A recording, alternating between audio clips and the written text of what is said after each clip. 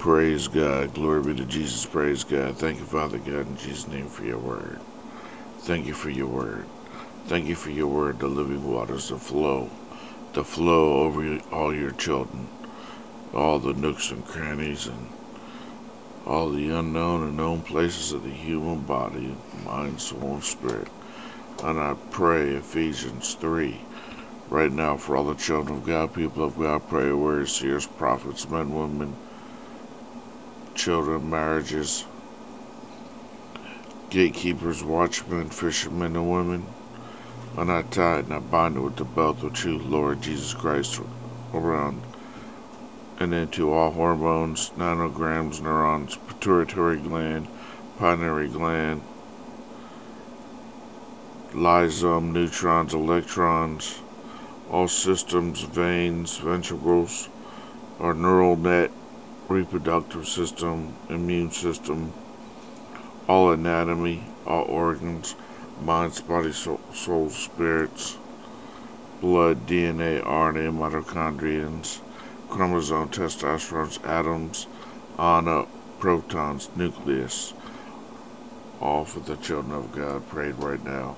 For this cause I, Paul, the prisoner of Jesus Christ for you Gentiles, if ye have heard of the dispensation of the grace of God which is given to you, Lord, how that by revelation he made known unto me the mystery as I wrote uh, afore in few words whereby when ye read ye may understand my knowledge in the mystery of Christ, which in other ages was not made known unto the sons of men, as it is now revealed unto his holy apostles and prophets by the Spirit, that the Gentiles should be fellow heirs, and of the same body, and partakers of his promise in Christ by the gospel, whereof I was made a minister according to the gift of the grace of God given unto me by the effectual working of his power.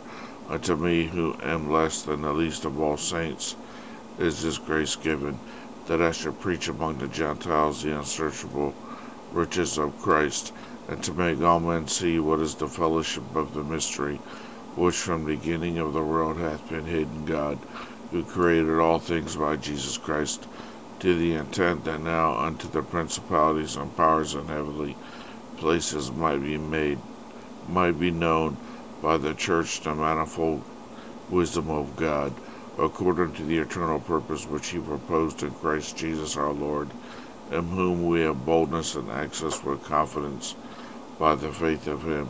Wherefore I desire that ye faint not in my tribulations for you, which is your glory.